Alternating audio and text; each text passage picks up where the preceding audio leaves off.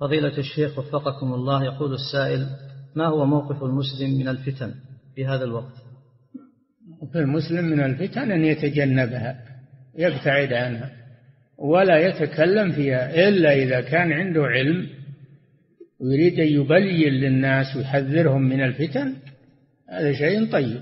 أما أنه يدخل فيها ويصحح ويخطي ويصدر بيانات ويوقع هذا لا يجوز.